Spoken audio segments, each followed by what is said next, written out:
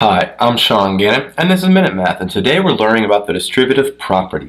We're simplify each expression. So, if I was given this expression, 7 plus 19b times a negative 15, okay?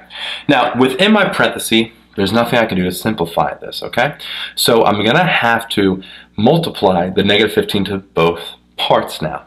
Negative 15 times 7, well, I don't know off the top of my head, but I got it here for you, is negative 105. Take my word for it, okay?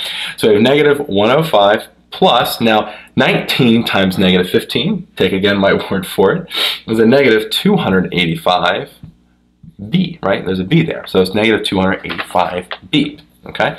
So we distributed negative 15 to both parts now. Now, we're almost there.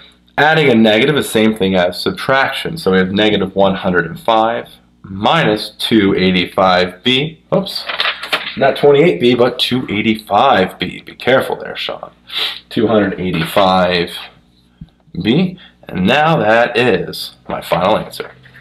So quick recap. We're given 7 plus 19b, and we're multiplying that by negative 15. Well, Multiply negative 15 to both parts, and I got negative 105 plus a negative 285b. Okay, adding a negative, same thing as subtraction. So final answer here, negative 105 minus 285b.